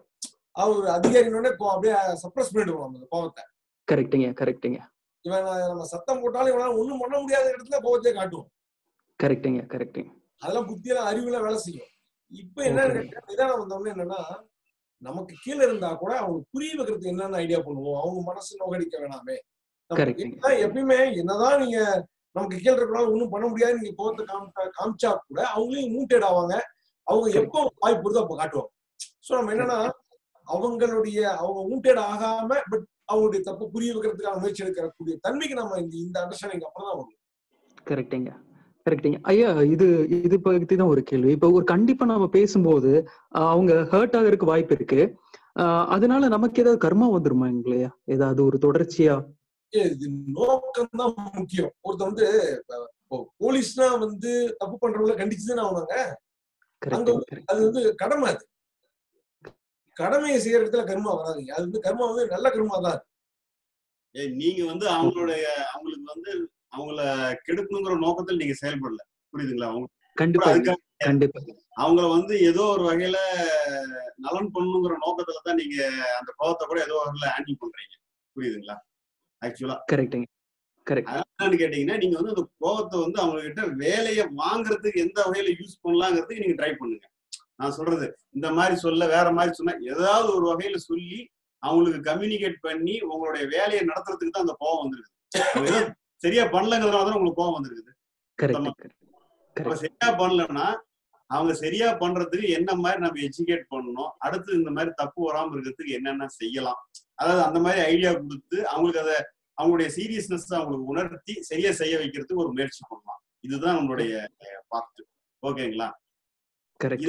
நீங்க கோபமா இருந்து அன்கான்சியஸா இருந்தீங்கன்னா என்ன பேசுறீங்க என்ன செய்றீங்கன்னு உங்களுக்கு தெரியாது. ஆனா இப்ப இந்த அண்டர்ஸ்டாண்டிங் நீங்க நிதானத்துக்கு வந்துடுறீங்க முதல்ல. நிதானத்துக்கு வந்த பிறகு அவங்க எப்படி கூப்பிட்டு இப்ப வந்து நம்ம ரைஸா பேச விட கூப்பிட்டு உட்கார வச்சு பாரு இதனால பாரு இவ்வளவு பிரச்சனை இருக்கு இதை புரிஞ்சுக்கோ அப்படின்னு சொன்னீங்கன்னா அவங்க கொஞ்சம் காது கொடுத்து கேட்கறதுக்கு கூட வாய்ப்பு இருக்கு. இல்லைன்னா நாமளும் காட்டு கத்து கத்துவோம். அவங்களும் அதை ரிசீவ் பண்ணாம அதை டோட்டலாவே இன்னும் அந்த இடத்துல பிணக்கும் விலகல் வந்து அதிகமாக தவிர புரிதலுங்கிறதுக்கு வாய்ப்பே இல்லாம கரெக்டுங்க கரெக்டுங்க ரொம்ப நன்றி. வந்து வந்து வேலையே கிடையாது. உங்களுடைய நோக்கம் வந்து உங்களுக்கு நலன் செய்யணுங்கிறது இருக்குதா மட்டும் நீங்க சிந்திச்சுக்கீங்க அது இருந்தா ரைட் கரெக்ட் கரெக்ட் சார் ஐயா இந்த ஒரு லாஸ்ட் கொஸ்டின் வந்து எனக்கு கோபம் வரும்போது ஒரு ரியாக்ஷன் இல்லாம விடலாங்களா ஐயா? சில நேரத்துல. பல நேரம் நிறைய நோக்கத்துக்காக வருது. அஹ் வாய்ப்பு நம்ம கிட்ட இருக்கும்போது இந்த நிதானம் இந்த புரிதல்னால நிதானம் இருக்கும்போது அந்த அது நமக்கு தொந்தரவு பண்ணாத அந்த கோபம்ன்ற ஒரு உணர்வு. இப்ப நம்மளோட இயல்புப்படி ஐயா சொன்ன மாதிரி எல்லாத்துக்கும் ஒரு ஒரு நியாயம் தர்மம் இருக்கும். அவங்கள எதை மீறுறாங்கன்னு தெரியும்போது அதை அது- அது போய் நம்ம கண்ட்ரோல் சரி பண்ண முயற்சி பண்ணும்போது தான் நமக்கு அந்த கோவத்தினுடைய வெளிப்பாடு ஒரு பயன்பாடு நமக்கு வருது இல்லையா? சோ அப்ப அந்த மாதிரி நேரத்துல சாய்ஸ் நம்ம கிட்ட இருக்கும்போது நிறைய நேரத்துல எடுக்காம விட்டுட்டா அது மனதுக்கும் உடலுக்கும் எந்த பிரச்சனையும் பண்ணாது இல்லையா? அதாவது சுப்பீரியர் நம்ம திட்டும் போது நம்ம வந்து சப்ரஸ் பண்ணிக்கிறோம். அதனால ஒரு பிரச்சனை வருது. நமக்கு கீழே இருக்கிறவங்க வேலை பண்றதுனால தப்பு பண்றதுனால நம்ம கோபத்தை காட்டி அதை சரி பண்றதுனால இது. இது ரெண்டுக்கு இடையில ஒரு நியூட்ரலான ஏதோ ஒரு வரும்போது அந்த நேரத்துல வந்து நம்ம ரியாக்ஷனே இல்லாம இருக்கும்போது இல்லாம இருக்கலாங்களா அதுதான் கேள்வி. இந்த அண்டர்ஸ்டாண்டிங்கே அதான கொடுக்குது. ஆக்சுவலா அந்த அண்டர்ஸ்டாண்டிங் வந்து ஆட்டோமேட்டிக்கா நியூட்ரல் பண்ணுது. அவங்க வந்து நம்மள ஒருத்தன் திட்டுறாங்கன்னா அவங்க ஒரு மன பாதிப்பு கூட அது அது நம்ம விட்டு சீக்கிரம் போயிடுது இல்ல. சோ மகேஸ்வரன் சார் இப்போ உங்களுக்கு வந்த கோபம் சம்பந்தமா நீங்க ஒண்ணும் செய்யல. முதல்ல புரிஞ்சுக்கீங்க. கரெக்ட் உங்களுக்கு வந்து ஒருத்தர் ஒரு கோபத்தை ஏற்படுத்திக்கிறாருல்ல சரிங்க. ஏதோ ஒரு டீலிங் பண்ணீங்க ஒரு கோபம் வந்துச்சுன்னு வச்சுக்கீங்க. நீங்க அந்த கோபம் சுத்தமா செயல்படல. அந்த ஏன் அப்படி நடந்துகிட்டாருன்னு அதை சரி பண்றதுக்கு போறது நீங்க நிதானத்துக்கு வந்தீங்கன்னா தான் அதை சரி பண்றதுங்கிறதே அங்க வாய்ப்பே இருக்குது. கரெக்ட் கரெக்ட் சரி அப்போ வந்து நீங்க நியூட்ரலுக்கு அதாவது இப்ப நீங்க வந்து கோபத்தை சரி பண்றதுக்கு முயற்சியே பண்ணல. அவர் ஏன் அப்படி நடந்துகிட்டாருன்னு அவருக்கு புரியாம நடந்துக்கிறாரு. அவருக்கு எப்படி எஜுகேட் பண்றதுங்கிறது தான் உங்களுடைய பார்ட்டா இருக்கும். போது அப்படிங்கும்போது நிதானத்துக்கு வர நீங்க அந்த மாதிரி டீல் பண்ணவே முடியாது. கரெக்ட் கரெக்ட் அதனால நீங்க வந்து நியூட்ரலா இருக்கிறங்கிறது நியூட்ரலுக்கு வந்து தான் அந்த வந்த அவங்களுக்கு எப்படி கம்யூனிகேட் பண்ணலாம் எப்படி நீங்க வந்து அந்த செயலை சக்சஸ் பண்ணலாங்கிறதுக்கு நீங்க போறீங்க. கரெக்ட் கரெக்ட் ம். ரொம்ப நன்றி. Thank you thank you so much so நன்றி மகேஸ்வரன். உங்களை நான் மியூட் பண்றோம். நெக்ஸ்ட் ராதாகிருஷ்ணா அட்மிட் பண்ணியிருக்கேன் உங்களை.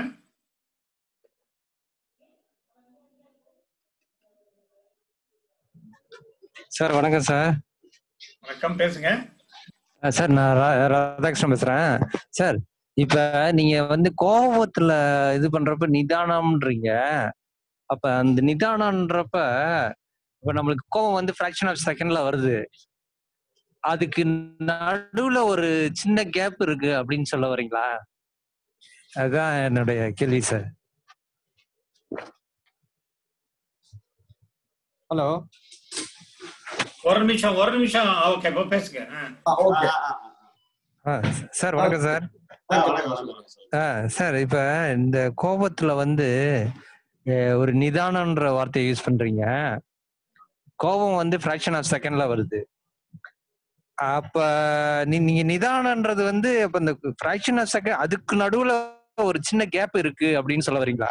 இல்ல இல்ல. என்னோட கோபம் வந்து அன்கான்சியஸா வந்துருது இல்ல.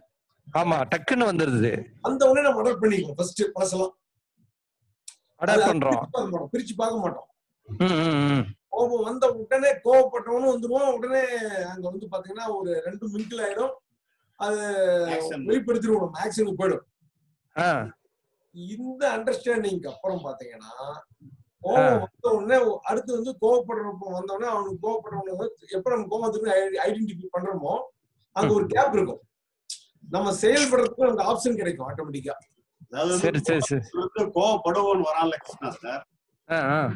கோவப்படுவோம்ல இருந்து ஆக்ஷன் நடக்குது இல்ல. புரியுது புரியுது. இடையில ஒரு கேப் இருக்கு. நம்ம செய்- அதாவது நம்ம வந்து நம்ம அதாவது வேணும்னா அடாப்ட் பண்ணிக்கலாம் இல்லைன்னா இது வந்து எப்படி ஹேண்டில் பண்ணலாங்கிற ஒரு நிதானம் வந்து ஆட்டோமேட்டிக்கா அந்த கோபப்படுவோம் சரி சரி சரி. இதுல இன்னொரு ஒரு இது தொடர்ச்சியா ஒரு கேள்வி இருக்கு சார். அதாவது என்னோட குணத்துல வந்து நான் அடிப்படையாவே முன்னாடியே கோபம் வந்து அது சரியில்லைன்ற மாதிரி ஒரு மனப்பான்மை இருக்குது நம்மளுக்கு. அப்ப என்ன ஆகுதுன்னா நான் நார்மலாவே என்ன சொல்லுவேன்னா ஏதாவது வீட்டுல வந்து இந்த சின்ன சின்ன ப்ராப்ளமா தான் இருக்கும். அது ஒண்ணும் பெரிய தலை போற ப்ராப்ளம் இல்ல. ஆனா இந்த பாத்திரம் ஏதாவது சாமான்லாம் சுத்த- சுத்தமா அடுக்கி வச்சிருக்க மாட்டாங்க. அதுக்கு வரும். வர்றப்ப என்ன பண்ணுவேன்னா அப்புறம் நிப்பாட்டிடுவேன் அப்ப வீட்டுல மனைவி என்ன சொல்லுவாங்கன்னா ஏதோ சொல்ல வர்றீங்களா சொல்லுங்க. ஏன் நிப்பாட்டுறீங்க அப்படின்வாங்க இல்ல இல்ல ஒண்ணும் இல்ல அப்படின்றவேன்.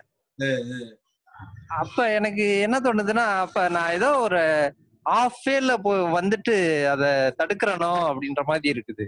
இல்ல இல்ல நீங்க என்ன பண்றீங்கன்னா அவங்க கேக்குறாங்க இதோ சொல்ல வந்தீங்க ஏன் நிறுத்துறீங்க? புதுசா. போட்டு சொன்னாங்கன்னா நீங்க வந்து சொல்ல வேண்டிய கருத்து ஒண்ணா இருக்கலாம். சொல்ற ஆ. விதத்தை மாத்திருங்க. சரி சரி சரி. சொல்ற விதத்தை நகைச்சுவாவும் அவங்கள காயப்படுத்தாமலும் சொல்ல பழகிட்டீங்கன்னா. அது வந்து அவங்க உங்களுக்கு வந்து உங்களுக்கு சக்சஸ் ஆயிடும். நீங்க எதிர்பார்க்க பாத்திரத்தை அடிக்கி வை- அடுக்கி வைக்கிறது வேற மாதிரி சொல்றது. ஜாலியா. சரி சரி சரி சரி. அந்த இடத்துல என்னன்னா அந்த ஃபேஸ் ரியாக்ஷனை பார்த்து தான் அவங்க கண்டுபிடிச்சிடுறாங்கன்னு நினைக்கிறேன். சரி இவர் ஏதோ சொல்ல வராரு. ஆனா நிப்பாட்டிக்கிட்டாரு அப்படின்ட்டு. ஆமா. இது இது இயற்கையாவே எனக்கு பழகி போச்சு. அது ஒரு ஆனா ரெண்டு செகண்ட்ல நாலு செகண்ட்ல வந்துருது. அதுக்கப்புறம் ஏதோ புரிஞ்சுக்கிட்டு நிப்பாட்டுறேன். பட் இருந்தாலும் வெளியில பாக்குறவங்களுக்கு ஏதோ ஒரு சம்திங் நடந்திருக்கு அப்படின்ற மாதிரி அவங்க அவங்களால உணர முடியுது. அந்த உணர்தலும் இல்லாத மாதிரி அப்படியே வெளியிலே வெளியிலே அதாவது அவங்க கண்டுபிடிக்க முடியாத மாதிரி இருக்கணும்னு நினைக்கிறீங்க. ஆமா ஆமா அப்படியே போயிடணும் அப்படின்ற மாதிரி வந்தது உங்களுக்கு மட்டும் தான் தெரியும் அவங்களுக்கு தெரியக்கூடாதுன்னு நீங்க தானே? கிட்டத்தட்ட அப்படிதான். ஆனா நம்மளுக்கும் பாதிக்க கூடாது இல்ல நமக்கு பாதிக்க கூடாதுங்கிறதுனால தான் நீங்க வந்து பேசுறதை நிறுத்திட்டீங்க.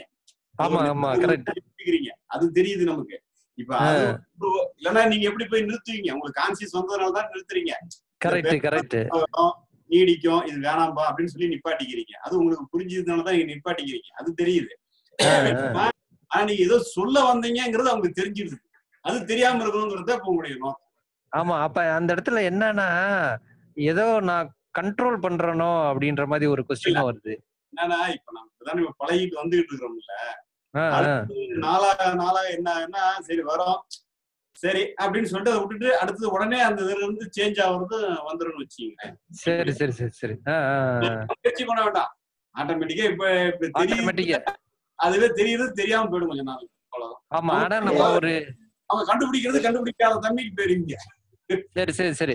அதாவது அப்ப நம்ம பொதுவா ஒரு கருத்து மட்டும் வச்சுக்கணும். ஃபோர்ஸ் பண்ணாம இது நல்லது இல்ல அப்படின்ற மாதிரி ஒரு கருத்து வச்சுக்கிட்டோம்னா அது அந்த நேரத்துல வேலை செய்யாது. பழசு நிகழ்வு ஆட்டோமேட்டிக்கா ஞாபகத்துக்கு வந்துரும். இது நம்ம என்ன ஆகும் விளைவு? கோபமா விளைவு என்ன ஆகுங்கிறது உங்களுக்கு ஆட்டோமேட்டிக்கா வந்துரும். அப்புறம் ஹேண்டில் பண்றது எப்படி ஹேண்டில் பண்ணா இது வந்து நமக்கு வந்து காரியம் நடக்கணும். அங்க வந்து தப்பு ஆகக்கூடாது அவங்க அவங்க தப்ப புரிஞ்சு சரி பண்ணிக்கணுங்கிறத அவங்க நோக்கம். ஹேண்டில் பண்ணா ரிசல்ட் கரெக்டா இருக்குங்கிறது ஆட்டோமேட்டிக்கா சரி சரி சரி. ரொம்ப நன்றி sir thanks okay okay thank you thank you Radhakrishna உங்களை மீட் பண்றேன். நெக்ஸ்ட் பார்த்திபன் ஐயா அன்மியூட் பண்றான்.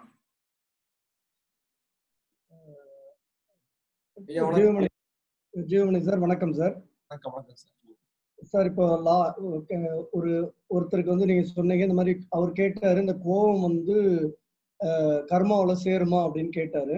அதுக்கு வந்து நீங்க பதில் சொல்லியிருந்தீங்க. ஏன்னா நீங்க அவங்களுக்கு கெடுதல் பண்ணணும்னு நினைக்கலாம் அந்த சூழ்நிலையை தான் சமாளிக்கிறீங்க. அதனால உங்களுக்கு அது கர்மாவுல சேராது அப்படின்னீங்க. அப்ப எனக்கு ஒரு கேள்வி எழுந்தது. அதனால அதை உடனே கேட்டுக்கலாம் கிளியர் பண்ணிக்கலாம் அப்படின்றதுக்காக கேட்கிறேன். இப்போ இந்த நான் அப்படின்ற நம்மளுடைய இந்த உணர்வுகள் பிரவாகமா ஒரு ஒரு நாளைக்கு எத்தனை ஆயிரம் எண்ணங்கள் வந்து பிரவாகமா போற மாதிரி ஒவ்வொரு அந்த எண்ணங்களுக்கும் அந்த சூழ்நிலைகளுக்கும் தகுந்த மாதிரி அந்த நான் வந்து தன்னை ஐடென்டிஃபை பண்ணிக்கிறான். அதோட. அடையாளப்படுத்து இல்லைங்களா. அப்போ நான் புத்தம் புதுசா இருக்கிறான். ஒவ்வொரு சூழ்நிலைக்கும் ஒவ்வொரு எண்ணத்துக்கும் புத்தம் புதுசா தான் இருக்கிறான். அப்படி அந்த நான் புத்தம் புதுசா இருக்கிற நானுக்கு எப்படி வந்து கர்மா சேருது? அப்படின்ற ஒரு கேள்வி வந்து எனக்கு வந்தது. அது நான் வந்து புத்தம் புது வேஷம் போட்டுட்டே இருக்கேன். தண்ணி ஒண்ணுதான் ஒரே தண்ணி தான் அது வடிவம் தான் வேற. வடிவம் தான் மாறிட்டே இருக்கே தவிர வடிவமாக மாறக்கூடிய தண்ணி அதே தானே. இப்ப நம்ம வந்து இந்த வடிவம் தான் நிரந்தரம் இல்ல. இந்த அனுபவிப்பவன் தான் எப்ப இந்த நானோட வந்து அனுபவம் கலக்குதோ அப்பதான் நமக்கு தெரியும். அந்த இருக்கிறது தெரியும். அனுபவம் கலக்காத நான் வந்து எந்த பிரச்சனையுமே அது கிடையாது. அதுதான் எல்லாத்துக்குமான ஒட்டுமொத்தமா இருக்கு. நம்முடைய சூக்கும சரீரம் நம்ம சொல்றோம் இல்லைங்களா? நம்முடைய நினைவு தொகுப்பு. அதான் சூக்கும சரீரம். இதுக்கு இதுக்கு காரணம் இருக்கக்கூடியது காரண சரீரம். இந்த காரண சரீரம் தான் வந்து அடுத்த இந்த பிறவிங்கிறதெல்லாம் பாத்தீங்கன்னா வேதம் என்ன சொல்லுதுன்னா காரண சரீரம் தான் அடுத்த பிறவி எடுக்குது. அடுத்த பிறவி எடுக்கும்போது சூக்கும சரீரம் வந்து இல்லாம போயிடும். சூக்கும சரீரம் இருக்குதுன்னா உங்களுக்கு போன பிறகு என்ன நடந்துச்சுங்கிற இதெல்லாம் ஞாபகமா இருக்கும். அப்படிலாம் கிடையாது இல்ல நம்முடைய காரண சரீரம் தான் அடுத்த பர்த் எடுக்கிறது எல்லாமே. அந்த காரண சரீரத்தில் தான் நம்முடைய கர்மாலாம் இருக்கு. அதனால இது என்னன்னு கேட்டீங்கன்னா இந்த அனுபவிப்பவனாக இருக்கக்கூடிய வடிவம் எடுத்த அந்த இதுதான் மாறிக்கிட்டே இருக்கு. ஓகேங்களா? ஓகே. இந்த காரண சரீரம் தான் அடுத்த பிறவி எடுக்குது இல்லைங்களா? ஆமா ஆமா காரண சரீரம் காரண சரீரம் சூக்கும சரீரம் இது ரெண்டு மிக்ல ஏதோ இருக்கு. நமக்கு இந்த பருவுடல் வந்து தூள சரீரம்னு சொல்றோம் இல்லைங்களா? இந்த வேதத்துல பாருங்க சொல்லிருப்பாங்க இது வந்து தூள சரீரம் நம்ம உடம்பு வந்து தூள சரீரம் ஆமா. உடல். அந்த உடல் இந்த உடல் வந்து தூள சரீரம்னு சொல்லுவோம். அதுக்குள்ள அது இந்த மனசுல இருக்கிற மனசுதான் வந்து காரண சரீரமும் சூக்கும. சரீரமும் சூக்கும சரீரங்கிறது நினைவுகளால் ஆன தொகுப்பு. சூக்கும சரீரம் நம்ம இந்த பாடியை விட்டு போன உடனே பாத்தீங்கன்னா சூக்கும சரீரமும் இருக்கும் காரண சரீரமும் இருக்கும். அடுத்த பிறவியில வருது அப்படின்னா அப்ப இந்த சூக்குமம் எல்லாம் போயிடும். காரண சரீரம். காரண சரீரம் மட்டும்தான் அடுத்த பிறவி எடுக்கிறதுக்கு காரணமா அமையுது. அடுத்து காரண சரீரம் வந்து அந்நிகழ்வுகளை வந்து பதிவு பண்ணி சூக்கும சரீரம் புதுசா உருவாகும் சூக்கும புது புது புதுசா உருவாகும். உருவாகும் சரி இது ஒரு இது ஒரு கிளியர் பட் வந்து இந்த இந்த நான் ஒவ்வொரு அதான் இப்ப நான் கேட்ட கேள்வியினுடைய பதில் கிளியரா எனக்கு கிடைச்சிருச்சான்ற ஒரு இது தெரியல. கிளியரா தெரியலன்னா எங்க தெரியலன்னு கேளுங்க நான் விளக்கம் இந்த நான்ன்றது வந்து நிரந்தரமா தண்ணீர் மாதிரி அதனுடைய வடிவம் தான் ஒவ்வொரு பாத்திரம் எடுக்கிற மாதிரி தகுந்த மாதிரி வந்து அது தன்னுடைய வடிவத்தை மாத்திக்குது அப்படின்னு சொல்றோம் இல்லைங்களா? அந்த நான் நிரந்தரமானவன் தான் அப்போ இல்லைங்களா? ஆமா என்னன்னு கேட்டா உணரும் ஒரு உணரும் தன்மை நமக்கு இருக்குல்ல? ஆமா. அது வந்து அதுல வந்து அந்த பேஸ் உணர்வு நிலையா இருக்கிறது நிரந்தரமா தான் இருக்கு அது அனுபவத்தோட கலக்கும் போது தான் அனுபவிப்பனா மாறுது. அது அனுபவத்தோட கலந்தா மட்டும்தான் நமக்கு தெரியுமே இருக்கிறதே நமக்கு தெரியும். இல்ல அது தெரியாம இருக்கிறோம் நம்ம நம்ம நான் இருக்கிறது தெரியாது. நான்கிறது இருக்கிறது தெரியாம தான் இருக்கிறோம் எல்லாருமே. எப்ப தெரியுதுன்னா அனுபவம் கலக்கும் போது தான் தெரியும். நீங்க தன்னுணர்வுன்னு கூட வச்சீங்க பார்த்திபன் சார். தன்னுணர்வுல வந்து அனுபவம் அனுபவிப்பான்லாம் எதுவுமே இருக்காது. எதையுமே பிரிச்சு பார்க்க முடியாம ஒரு பீயிங்னஸ் ஒண்ணு இருக்குதா இல்லையா? நான் இருக்கிற இப்ப நீங்க எல்லா லைட் அமைச்சிட்டு எந்த வெளிச்சமும் இல்லாம நீங்க ஒரு ரூம்ல உட்காந்துருக்கீங்க உங்களை எதுவுமே தெரியாது. ஆனா நீங்க இருக்கிறாங்க உங்களுக்கு மட்டும் தெரியுமா தெரியாதா? இருக்கு. ஆமா. அங்க அனுபவம் அனுபவிப்போம்லாம் ஒண்ணுமே கிடையாது. ஆனா நீங்க இருக்கிறங்கிறது மட்டும் உங்களுக்கு தெரியும். தெரியுதுங்களா? ஆனா அதே வந்து அதுல வந்து ஒரு அனுபவம் தோன்ற உடனே அதுக்கு தக்கத்த அனுபவிப்போம் வந்துருவான். ஆக்சுவலா வந்து என்னன்னு கேட்டீங்கன்னா அந்த தன்னுணர்வுல ஏற்படுற ஒரு சலனம் தான் அனுபவிப்போம் அனுபவமே. அதான் அனுபவிப்போம்னா உணர்றோம். இப்ப நீங்க அதாவது என்னன்னா நாக்கு இருக்குல்ல நாக்குல எத்தனையோ டேஸ்ட் வந்தா கூட இந்த டேஸ்ட் பிடிச்சிருக்கு இந்த டேஸ்ட் பிடிக்கலன்னு நம்ம உணர வச்சு சொல்றோம் நாம. நாக்குன்னு ஒரு டேஸ்ட் இருக்கா? நாக்கு இருக்கு தானே அது அதுதான் எல்லா எல்லா டேஸ்டுக்கும் ஆதாரமா இருக்கிறதே அந்த நாக்கு தான். அஹ், தன்னுணர்வு தான் அது.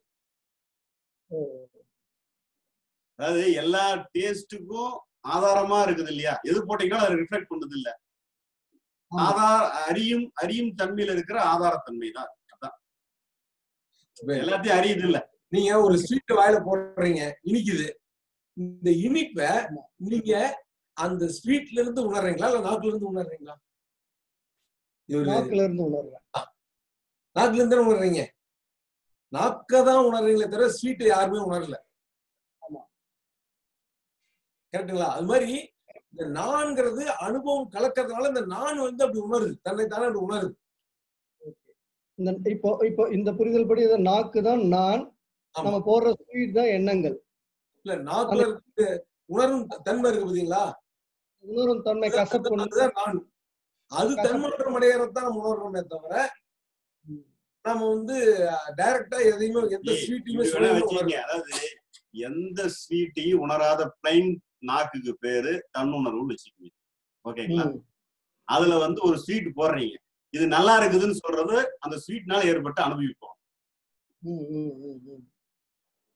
கசப்பு இது பிடிக்கலன்னு சொல்றான்ல. அந்த கசப்புனால ஏற்பட்ட அனுபவம் ஆனா எல்லாமே வந்து இந்த நாக்குல தான் நடக்குது புரியுதுங்களா? புரியுது புரியுது. Thank you thank you sir thank you sir okay fine sir fine Parthiban நன்றி. ஆஹ் பார்த்திபன் சார் நீங்க சப்ஸ்கிரைப் பண்றது எப்படின்னு ரெண்டு மூணு நாளைக்கு முன்னாடி கேட்டீங்க. அது ஒரு வீடியோவே அனுப்பணும் எல்லா குரூப்புக்கும் பாத்தீங்களா அது?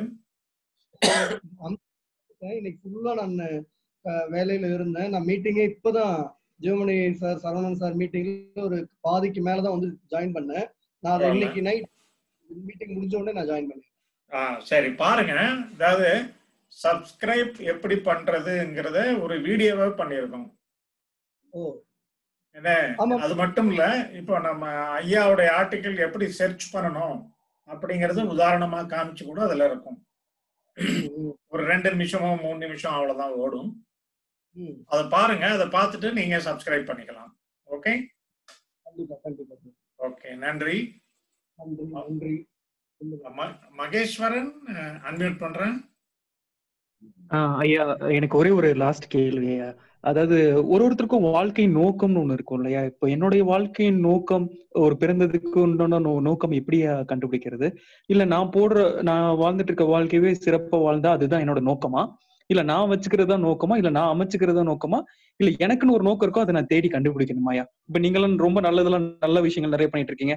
சோ இது நீங்களும் எடுத்ததா இல்ல உங்களுக்கு நோக்கமா வந்ததான்றது ஒரு ஒரு கேள்வியா இருக்குங்கய்யா ஏன் புறத்தை பொறுத்தவரை நாம தான் என் நோக்கத்தை வச்சுக்கிறோம். சரிங்க.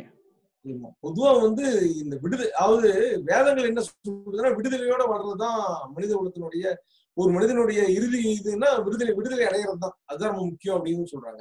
முக்தி அடைகிறது விடுதலை அடைகிறது அப்படிங்கிறது தான் விடுதலையோட வாழ்றப்பதான் அந்த வாழ்க்கையே உண்மையான வாழ்க்கையா மாறுதான். ஸோ நம்ம மத்தபடி நம்ம இந்த சமுதாயத்துல ஒரு பயனுள்ள மனிதரா வாழ்றது நம்ம அமைச்சுக்கிறது தான் கரெக்டுங்க கரெக்ட் இல்ல இது இது தொடர்பா ஒரே ஒரு சின்ன கேள்வியா? இப்ப நீங்க சொன்னதுல இருந்து ஒரு இப்ப மூவில பார்த்த மாதிரி ஒரு சின்ன எக்ஸாம்பிள் சொல்றேன்னு வச்சுங்களேன் இப்ப சச்சின் டெண்டுல்கர் இருக்காருன்னா அவருக்கு வந்து கிரிக்கெட் விளையாண்டதான் அது அவருடைய ஆஹ், நல்லா விளையாட முடியும். அந்த மாதிரி ஒரு நல்ல நிலைமைக்கு வரும்? ஸோ ஏஆர் ரஹ்மான் கிரிக்கெட் விளையாட முடியாதுன்ற மாதிரி ஒரு ஏஆர் ரஹ்மான் மியூசிக் செலக்ட் பண்ண மாதிரி ஒருவேளை சச்சின் மியூசிக் செலக்ட் பண்ணியிருந்தா அவருடைய வாழ்க்கை நோக்கம் அதுவா இல்லாதனாலே அவரு மேல லெவலுக்கு வர முடியாம போயிடலாம் அந்த மாதிரி ஒரு டவுட் வந்துச்சுங்க. இல்ல அதாவதுங்க விடுதலை என்பது அனைவருக்கும் பிறப்பியல்பு அது நம்ம நோக்கம்னு கூட சொல்றத விட பிறப்பியல்பு நம்முடைய கேர எல்லாருடைய நேச்சரே அதுதான். சோ. அந்த விடுதலையோட இருந்துகிட்டு நமக்குன்னு ஒரு திறமை இருக்கும்ல. சரிங்க. ஒருத்தருக்கு ஒரு ஒரு கேரக்டருக்கு ஒரு திறமை இருக்கும். அந்த திறமையை அவங்க டெவலப் பண்ணாங்கன்னா அதுல வந்து டெவலப் பண்ணலாம். இப்ப வந்து எல்லாரும் விடுதலையோட இருந்துக்கிட்டு சச்சின் டெண்டுல்கர் வந்து கிரிக்கெட் நல்லா விளையாடலாம். ஏஆர் ரஹ்மான் வந்து மியூசிக் நல்லா போடலாம். சோ ஒவ்வொருத்தரும் ஒரு டேலண்ட் இருக்கும். அந்த டேலண்ட்டை டெவலப் பண்ணலாம்.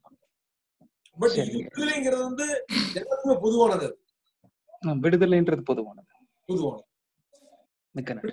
நீங்க உங்க சூழ்நிலைக்கு உங்களுக்கு வந்து அதாவது நம்ம மத்தவங்களோட ஒப்பிடுறதே அதை வேணாமாங்க என்ன சொல்லுவாங்கன்னா each and every one different குவாலிட்டியில் இருக்கிறோம் நம்ம அப்படிங்கும்போது நமக்கு என்ன நமக்கு திறமை இருக்குது நம்ம எதை நம்ம டெவலப் பண்ண முடியுமோ அதை நம்ம வந்து மேலும் மெருகேற்றுறது வந்து தேவையான ஒண்ணு. அது நமக்கு நமக்கும் நல்லது நம்ம சார்ந்தவங்களுக்கு நல்லதா இருக்கும். விடுதலைங்கிறது காமன் எல்லாத்துக்குமே தேவையான ஒண்ணு. மனித குலத்துக்கே தேவையான ரொம்ப நன்றிங்க. தேங்க்யூ தேங்க்யூ நன்றி மகேஸ்வரன். மீட் பண்றேன். ஸோ மணி நைன் ஓ ஃபோர் ஆச்சு. யாரும் வெயிட்டிங்ல இல்ல. அபிஷியல் க்ளோசிங் போட்டுருமா ஸோ அனைவரின் சார்பாக ஜீவமணி அவர்களுக்கும் சரவணன் அவர்களுக்கும் நான் நன்றியை தெரிவித்துக் கொள்கிறேன். நன்றி. நன்றி. ஸோ இது ஸ்டாப் ரெக்கார்டிங் கொடுக்குறேன்.